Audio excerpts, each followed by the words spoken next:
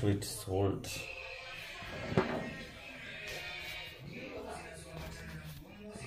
yeah that is replaced well. You can see that. I've replaced this.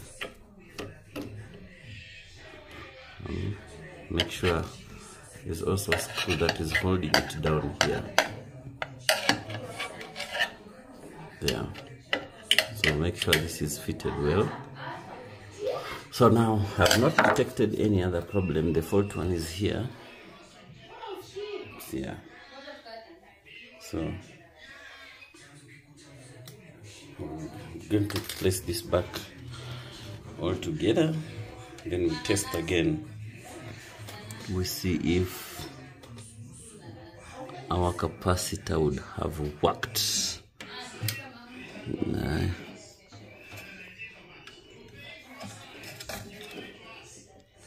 And as I told you guys you need to be careful. This is a high voltage area very high voltage. You can see that.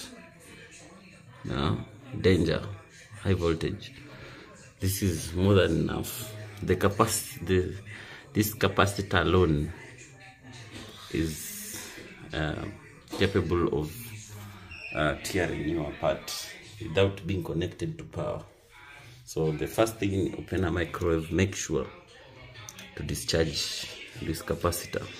I already showed you i showed you i gave you the how the process of discharging this. You just connect those two terminals and you're good. Again let's confirm it's properly fastened. Yeah. So i think we're good now. I think we're good. Can just confirm the fuse is well fit.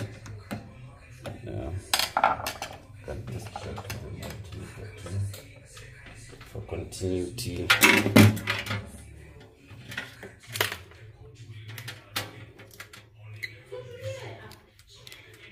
Just try that.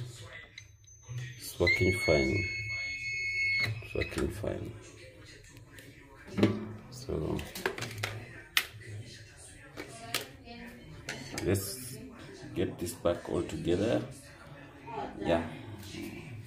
Sorry Sanonix brand for those who ask me.